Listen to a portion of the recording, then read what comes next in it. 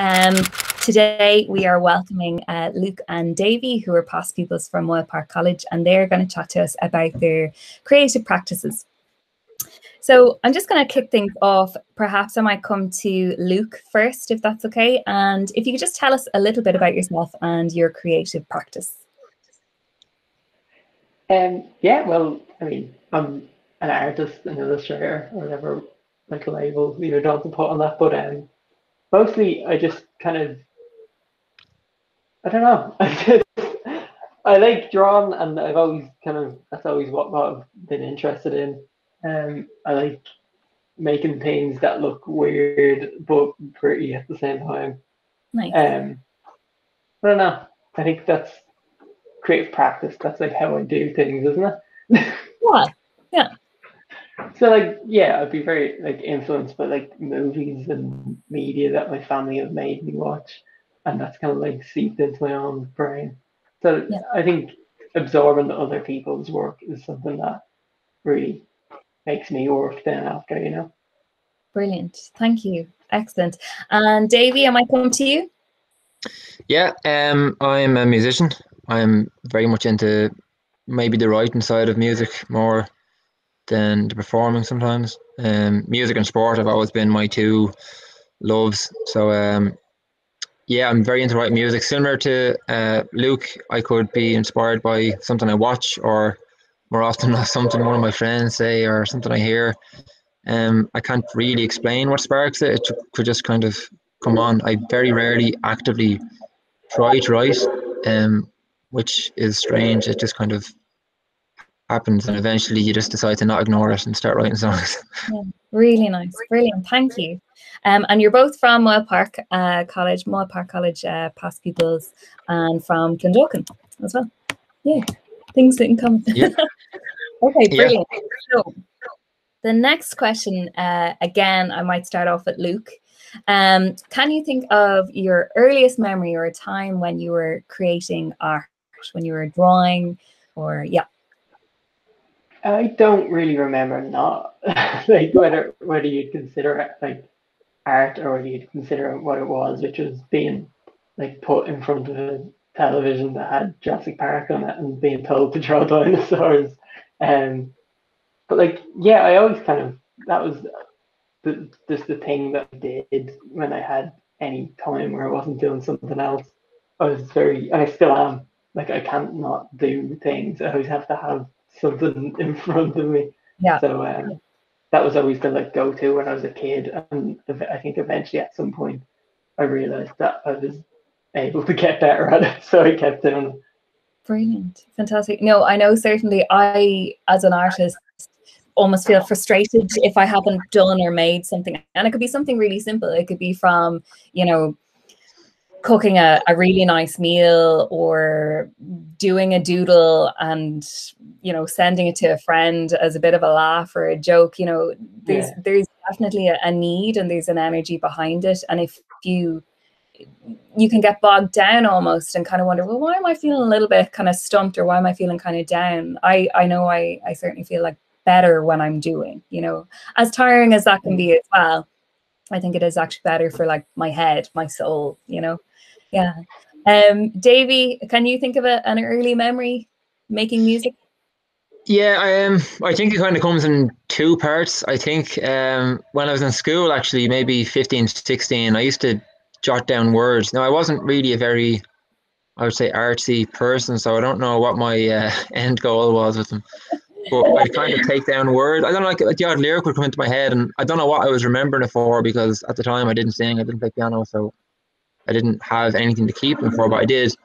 Uh, and then when I was like this is late again. But then when I was 20 was just when I got my, I just got a, a bog standard keyboard and I just became addicted very quickly and started learning songs. And then eventually you think, why don't I just write my own? And um, then you just try and match up the words again and away you go kind of. So it's kind of two parts. I remember writing words. Um, if I found my old copybook now, I mean, some of it is absolutely god awful. but kind of two parts. Maybe once when I was in school writing words and then maybe when I'm 20 and actually began creating music. Yeah, brilliant. So it was a little bit, a little bit later on when it was kind of okay. What can I do? Yeah. Yeah.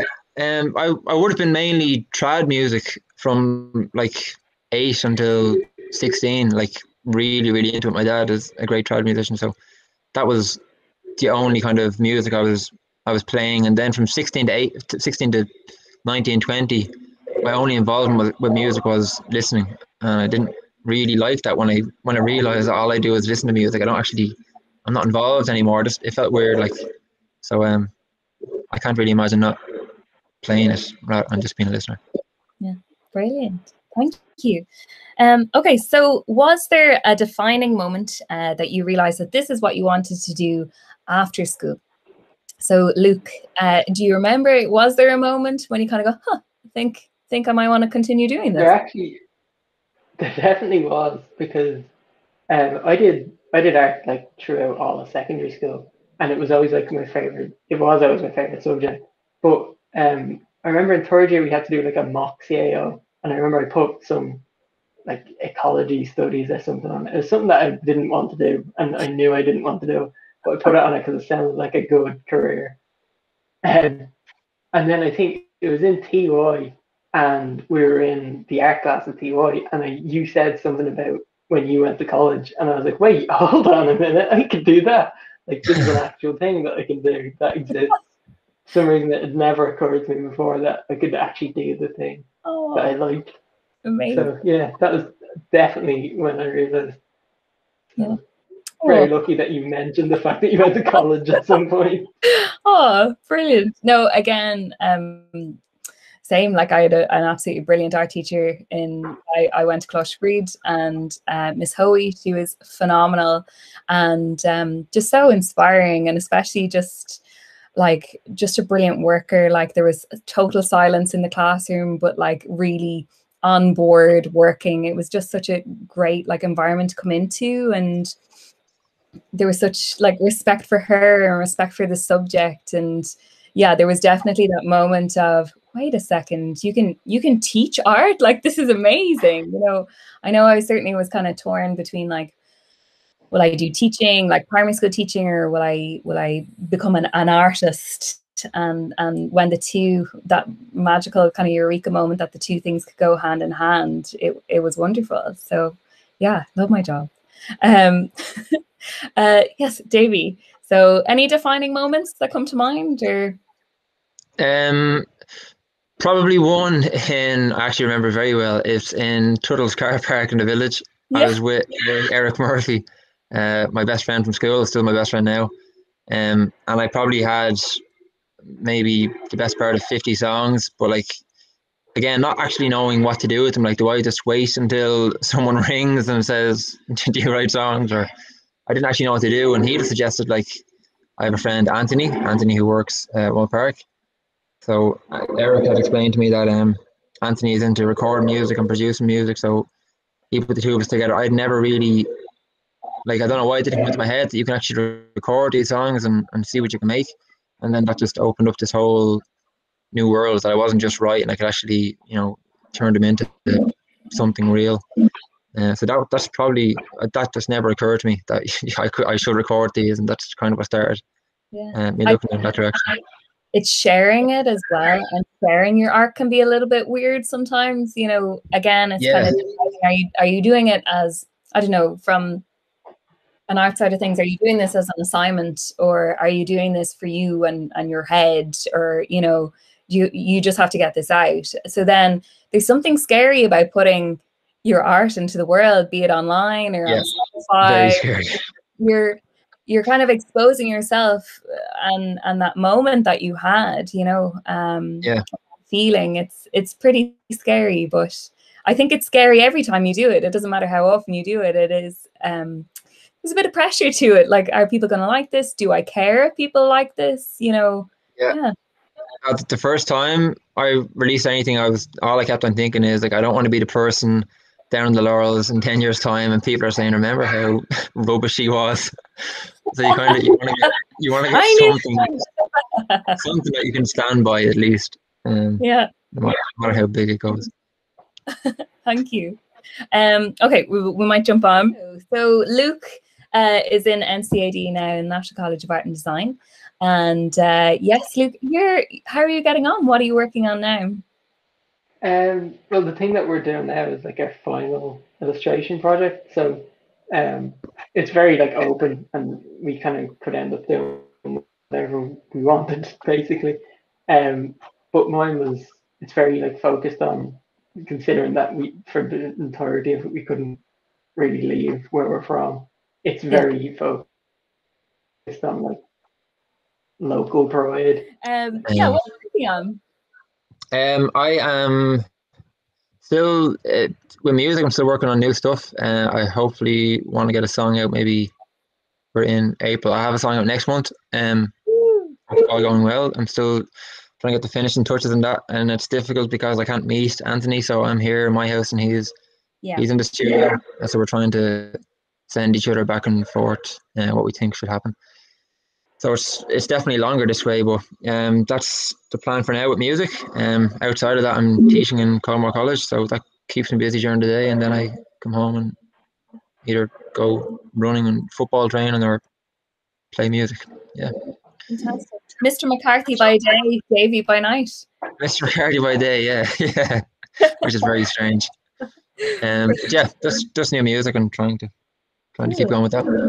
Thank you. Um, okay, so artists certainly uh, face challenges, and um, I wanted to ask you guys what you find um, as your biggest challenge in terms of uh, being creative. So um, feel free to jump in. Sorry, Luke, you've, you've always been the first person to speak. Wait, Davey, I'm going to put you on on the spot. um, yeah, the biggest um, maybe in terms of showcasing is kind of just um, like getting over it, like we spoke before with nerves and stuff. Um, yeah. yeah. I would always, I don't really feel like a musician kind of person. I've always felt more like a sport person, so maybe that's a bit more uh, like critical of you, maybe and stuff. So I, I was always nervous of what people might think, my friends and stuff. Um, but like if you just, I mean, I, I see music as, I, I mean, hopefully I can I could go somewhere with it if I wanted, but I do see it mainly as a hobby and it's something I enjoy doing. And if I make something that I want people to hear, well, why wouldn't I share it? Um, and you kind of have to get to the point where you don't like, you don't not sound too artsy, but the success is probably in just making a song. I mean, it's not really about who loves it or who doesn't love it. It's probably just that you did it because, I mean, if you enjoy doing it, why not do it? Um, so I think getting over that part was the was one of the biggest things. And then creatively, um, I don't know. Maybe the part I'm at right now with a song. This is the part I just hate when everything is finished and you kind of have to let go and you don't want to let go because I would work on a song for four years and just never bring it out, which is ridiculous because I just keep tapping away at a little thing and I'd ruin it. So I do find it very hard to just say, okay, I'm finished. And uh, yeah. that's without doubt my biggest um, flaw. I think artists, oh, that's such a, a, thing with artists of like, when do I stop? When is it yeah. done? Is done yeah. thing? You know? Yeah, yeah, absolutely. Oh, that's it's so hard. Yeah, uh, Luke, what would you think? I think, well, obviously the same. Like the, when the, the first time that you put your work like into uh, any kind of public view, whether it's like in a small way or a big way, yeah. Obviously, that is like nerve wracking. But the other thing that I would say about it is every time that you do it, the next time will be a lot easier than the last time. So like, yep. if you keep like showing people stuff, like eventually you'll stop caring. You'll start showing them whatever you do, even if it's awful and you don't even like it.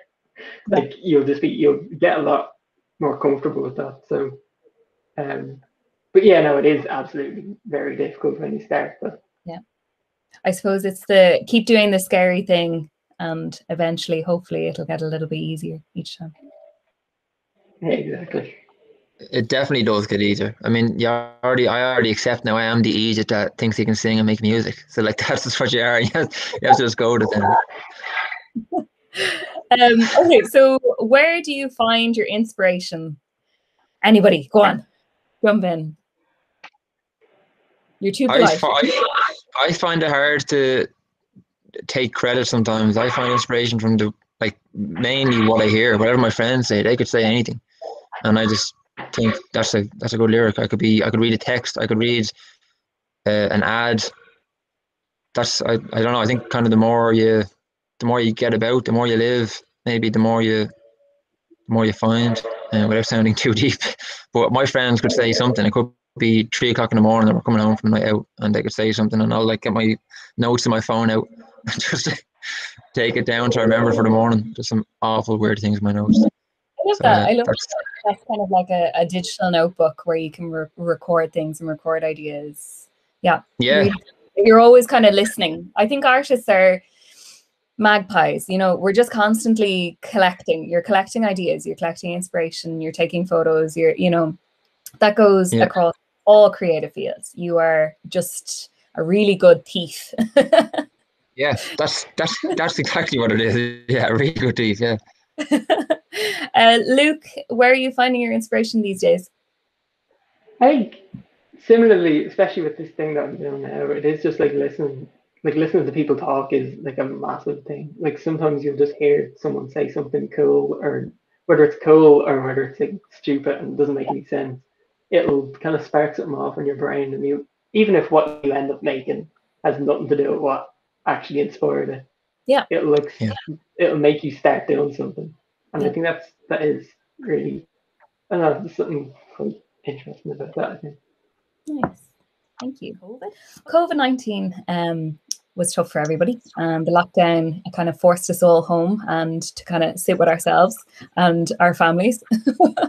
um, how did you manage continuing uh, being creative? Were you creative during this time?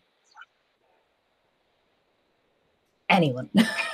oh, either of us. Um, I think for the first part, I probably wasn't really. It was such a novelty of just not being in work and stuff that yeah. Uh, I didn't really do a whole lot at all. I was, I was so happy to be to be actually not able to do anything and not feel bad about it. Um, then eventually you start, you know, messing around with the piano again because there's nothing else to be doing, and you can only go for so many 5k runs and stuff. And, um, yeah, I think just writing songs, and then like it was awkward because I couldn't meet up with Anthony, so we kind of got that period late last year where you could uh, meet up again and, and see people. So we just recorded as much as we could in that time that we could then not have that I wouldn't need to be there to record anymore, yeah. and we could just work on whatever we got done, kind of. Yeah. Um, yeah, that was it really. Yeah. Luke. Um, I think I don't know. During the first like lockdown during the summer, I think it was almost the reverse. Like I was, like I worked in a bar and I was in uh, Ballyfermot College at the time. So both of those were like done. I didn't have to do that, and then like for now, so I just had loads of free time, and I was like very excited to make things. But then now, well, not now. Things have kind of gotten over that, but when this current like lockdown started, yeah, it was like it was very hard because in college and in a lockdown, it's not oh you're free to do whatever you want. It's yeah. You have a lot of time in your own room to do something that somebody else is telling you to do, which is a lot more difficult, I think. Mm. Um, but I think it is like taking the best thing that'll help you to be creative when it's hard to be creative is taking time to not be creative. Almost like take, take the time to like get out of your house and not think about it. And yeah. then when you come back to it, you'll you'll, you'll just have more ideas and motivation. Yeah, brilliant. Really good bit of advice. Um, so continuing on this good advice, it is Moyle Park College's Wellbeing Week. So, how has your practice as a musician and artist helped you with your mental health and well-being? So, Davey, I might come to you on that one.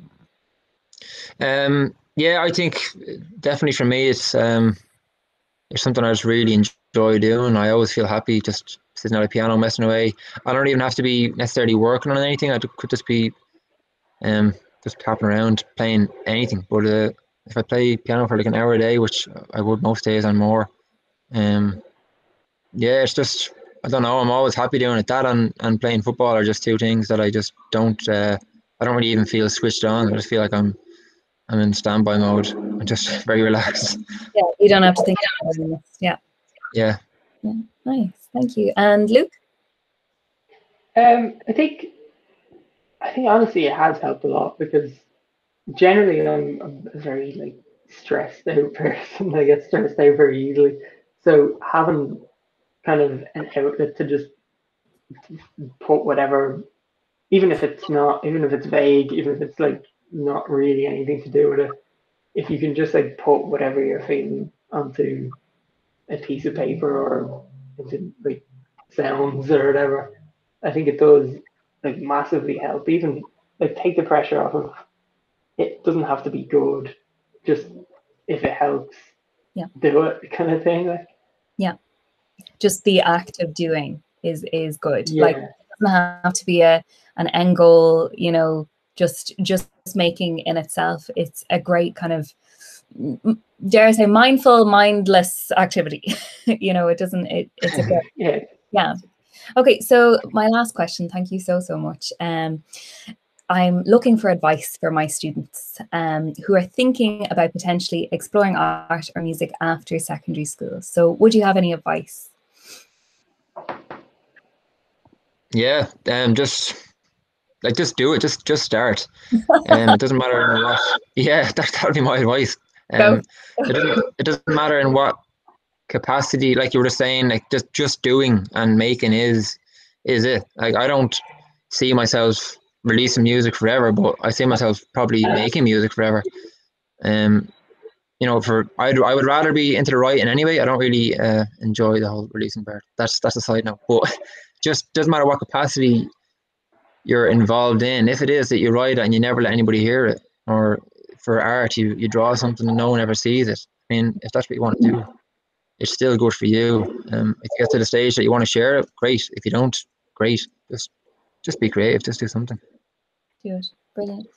Thank you. And Luke, any advice? Um, I think specifically for people who want to go to like say art college or music college or whatever, um, I would say like if you don't get there the first time that you try to do it, especially if you're trying to do it in like a leaving cert year or whatever, Yeah. like there is there's really like no shame at all in just trying again because realistically, if you I went and did a portfolio course in Ballyfermot and like that was during that year, like I absolutely got better at what I did. I decided like I had time to think about what I wanted to do and I met some people that are like some of my best friends now. So like not like taking another year to get better and be sure of what you want to do is a lot more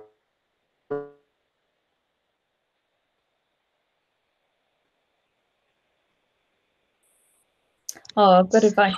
I think you just cut out there at the end, Luke. Oh man.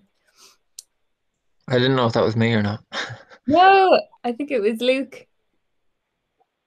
Luke, are you there with us? Yeah, yeah. Hey. Sorry, I think my internet Sorry about that. Sorry. There, yeah. Sorry. So you were kind of you were mentioning sort of there is no shame and the fact that like taking out a year to become better. I think that's such great advice. Absolutely. And the fact that like you you then have time to really dedicate yourself to that practice, to that focus. You know, you're not you're not worrying about leaving certs, you're not worrying about, you know, like exams or things like that. Like it, it can be a hundred percent like giving yourself to it. And and of course like e- exposing yourself to other other art teachers, other artists, you know, and kind of broadening that, Mm. you know, experience, I suppose. Um, brilliant. Well, that's us. Um, thank you so much. Uh, this has been wonderful, and um, I really, really, oh, I'm so grateful um, to both you guys. I think it's lovely having kind of a mix. It's not just it's not just coming at it from a visual art point of view, also to have uh, yourself, Davey, from a, a music side of things. Um, Mhm. fantastic, and yes, um, that concludes our first episode podcast. I'm not sure how we're going to do this, but our first creative thing that we made together. Um, so thank you so much. Um, Brilliant. cut. Fantastic. I'm going to stop recording here now. Uh, well done.